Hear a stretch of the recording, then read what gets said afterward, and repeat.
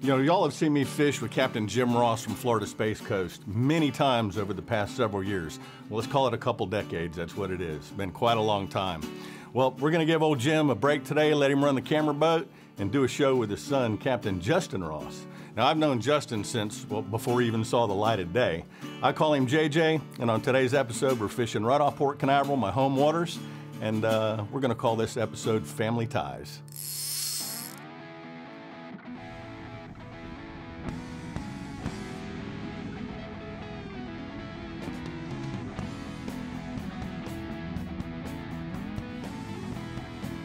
This day was just a little bit different than the day before when we filmed with JJ's dad. It was absolutely flat, calm, perfect fishing conditions when we were with the old man. JJ had his work cut out for him because we had storms busting up all around us, the wind started kicking up, and we still had to run about seven, eight miles down the beach to go and catch bait. We're looking for the bait flipping on top of the water, like those just did right out there. And then we're gonna try and pull up alongside them and let Blair get a cast out on them. They've been running about 10 miles down the beach, got off Patrick Air Force Base here, and there is whew, scaled sardines everywhere. Just give me one flip.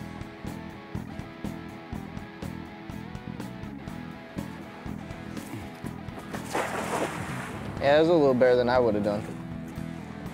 Got a couple years on you.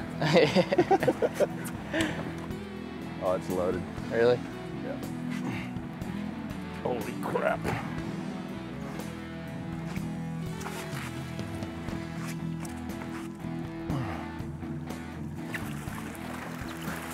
I do believe we got some bait, yeah, you brother. got some bait there.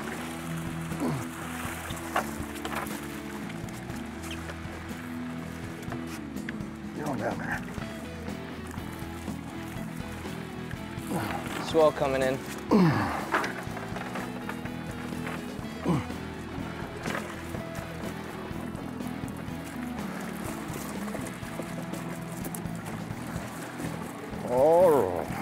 Good bait.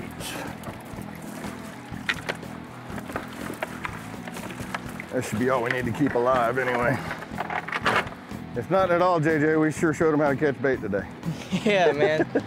You know, it is pretty surreal shooting a show with Captain Justin. I've known the kid forever. Just to have him take charge and say, hey, okay, where are we going? What are we going to do? It's definitely neat shooting with the new generation of captains. Well, JJ, we got our bait, got the boat clean. It's your call, brother. Where we going? I think we're gonna start out on the Corsham, see if we can't chum up some of those unicorn fish out there, and then uh, maybe run off to some other reefs if we don't, if we're not doing so hot. Well, I do believe we're gonna whack them. We got the right bait, we got the right rigs. I think we got the right captain here. We'll see. Well, let's do it, brother. Let's go.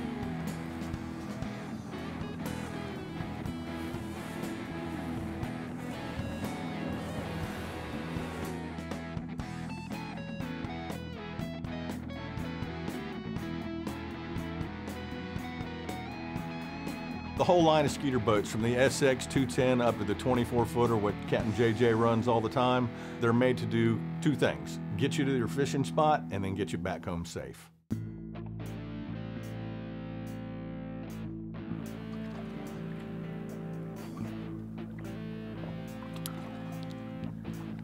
All right, Jackies, you're in trouble now.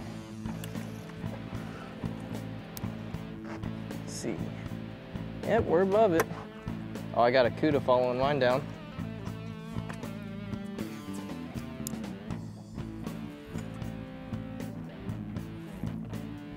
Water's so clear, I can still see that jig head all the way down there.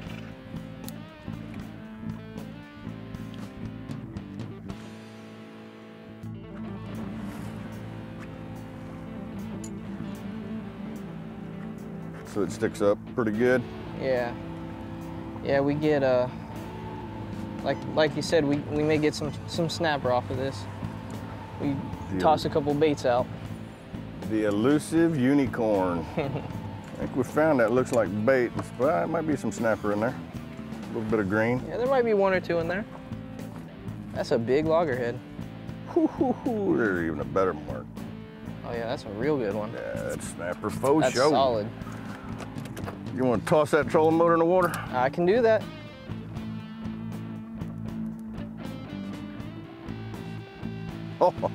look at that on the screen now. Get a good one back there?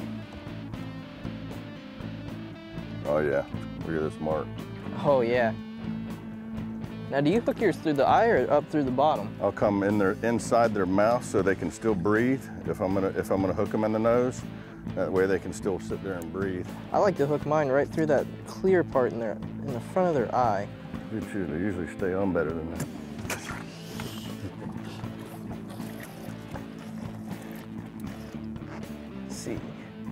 Yep, we're above it. Oh, I got a CUDA following mine down.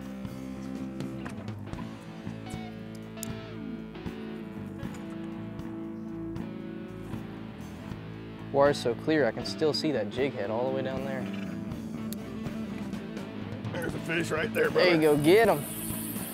I'm gonna clear this line for you. Yeah, Whatever it is, it's big. it's big.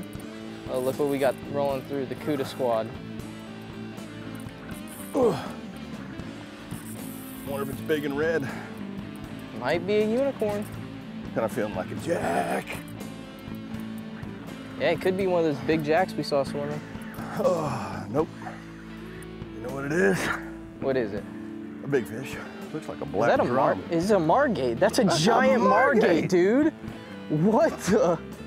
That is the biggest margate I've ever seen in my life. Holy cow! Holy moly, look at this thing.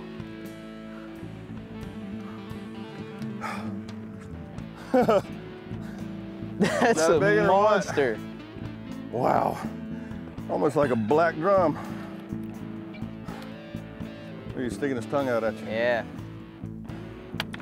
That is a cool fish. I love how silver they are. What a beautiful fish. And I don't think we're gonna keep any today. That would be a keeper though. Back at you. You know, a margate is actually part of the grunt family, and when you get one that size, coming up, it looked a lot like a snapper, so I thought it was a snapper. And when they get that size, they even fight like a snapper. They're pretty good to eat, too. So that is a margate. Dude, that's the biggest margate I've ever seen. Well, when I was shooting with your old man the other day, he caught the biggest kingfish I've ever seen come out of Port Canaveral.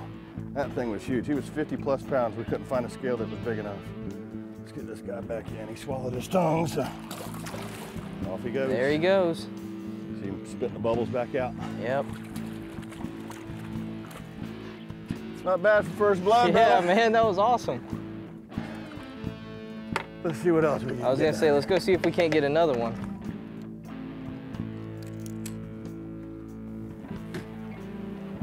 Just not wanting to get down on the bottom. I don't think I'd want to either if I was able to see that screen that lit up like that.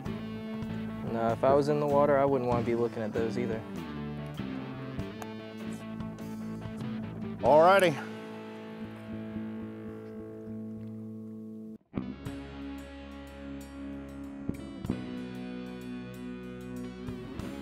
That's a green turtle, ain't it? Yeah. I like to drop it to the bottom and give it about two handle turns up. So he's just suspending up there. What rate did you say this one is? This is the Corsham The that Corsham. right now. And we just had about 150 Jack Crevalle swimming around the boat. So I got one down here on the bottom. Hopefully one of them snapper are gonna eat it. But I am rigged and ready for some of them Jack Crevalle to come back because they are a lot of fun to catch, as y'all seen. you know, as me and your dad have fished together so many years now. We went through captain school together 25 years ago. oh, really? Yeah, we've done quite a few shows with the old man and always have a good time, especially with those Jack Crevalle. There's people that still talk about that show.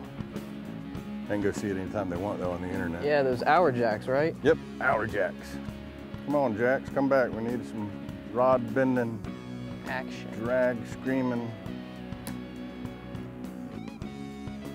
frigate bird action.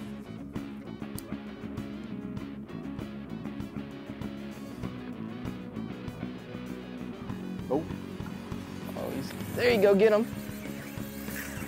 oh, it's a double. It's a double. And mine's going one way, yours is going the other. Oh, I think he got off. Oh man. Mine broke me off on something. At least you got your weight back, huh? Yeah. Yep, this was feeling like a jackie.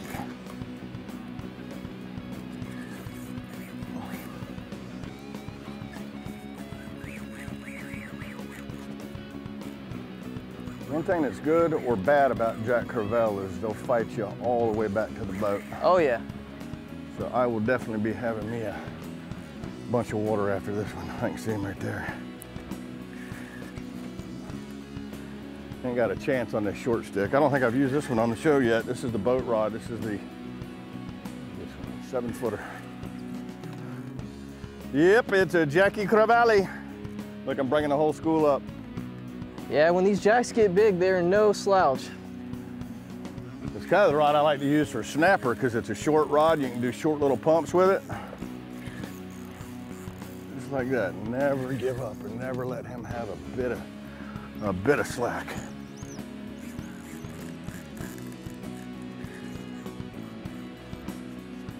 Round and round we go. Catch a yellow submarine. I thought we were gonna have a breeze today. That would have been nice, wouldn't it? You got a big live grouper chasing him, trying to eat him. Was that a grouper? Yeah. I thought it was a shark. No, it was a grouper. Look how he was real wide. That was a big old Goliath. Yeah. Yeah, I thought that was a shark, man. We're getting so inundated with those Goliath grouper around here. I know, there's so many. And they'll eat everything that comes off of this wreck. Whoo, that's a nice jack. That's a nice jack right there. Come here, you. No, there's a jack down in Bahamas I caught one time. It's a big eye jack. You don't want to grab their tails like that because of the the back shoats, or not the shoats, but the back tail back here will Uh-huh. literally cut you to death. You Yeah, roll that circle out. Yeah. Yes. Roll it. There. They make a unique sound too, don't they? Yeah. Fun fighting fish. Hopefully that doesn't bite my jugular vein. but man, that's a cool fish. Pound for pound, I don't think there's a fish that fights any harder than these guys right here. Nah, they're strong. Even down in Costa Rica, I was catching rooster fish the same size as the big Jack Crevalle here, 20, 30 pounders. These guys fight a lot harder. But uh, Jack Crevalle, otherwise known as the Hour Jack or Tackle Buster. and off he goes. That's one down. Nice job, man. Look at this. One fish. That's nice.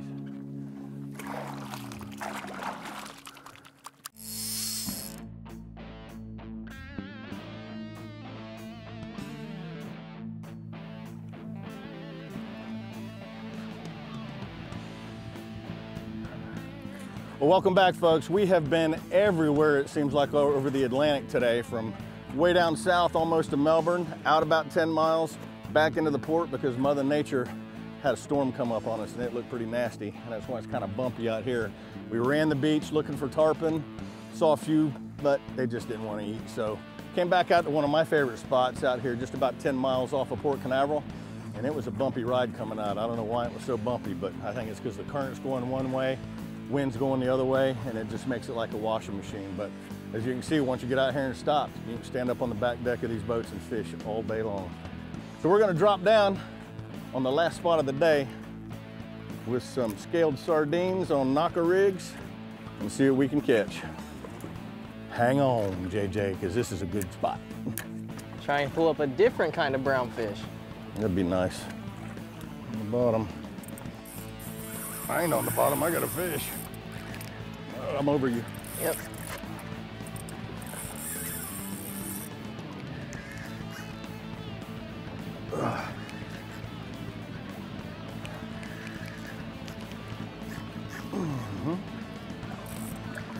Hopefully it's big and brown.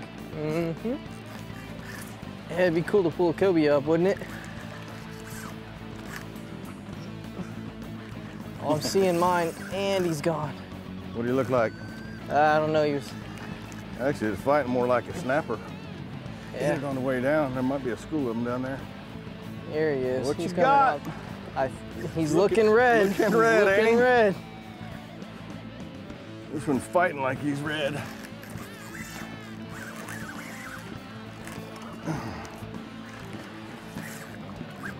Oh, He come off. Oh, oh man. there's a red snapper, a big one. Oh well, I'll land JJ's. Get up here. What you got, JJ? Get up here. Get up here. We saw it. It looked brown, and he was about 15 feet down. And since red's the first color to disappear in the water column down there, about 15 feet, that's why they kind of look brown down there. Oh yeah, he's looking real red. Looking real red. Looking real big too. Yeah.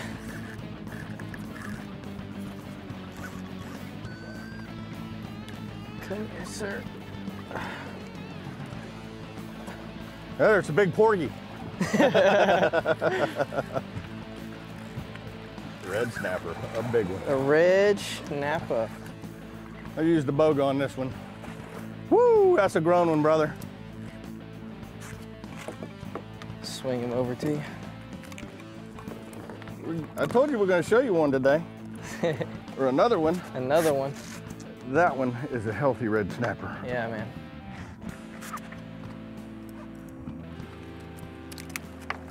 Circle There hook. we go. Circle hook. There you go. Thank you, sir. A nice, healthy American red snapper.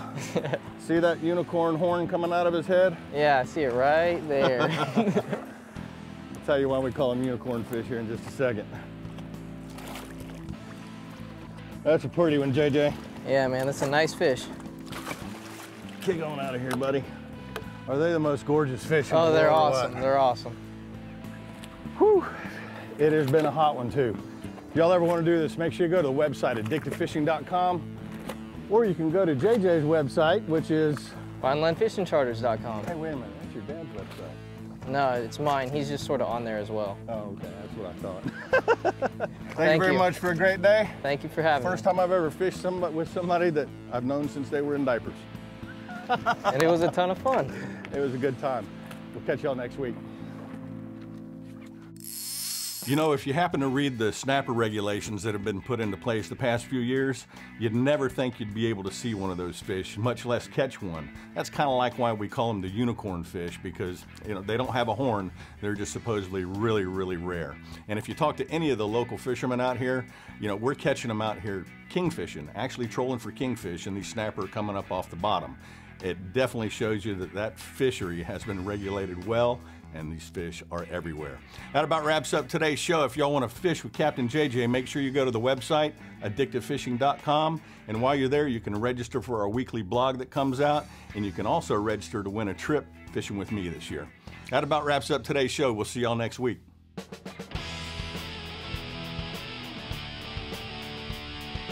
Check out more footage from this show by logging on to addictivefishing.com for outtakes and bloopers. Or knocking yourself in the head when he bites through the line. oh, Yeah, get, get a close up of that. oh, that's called a zing pow.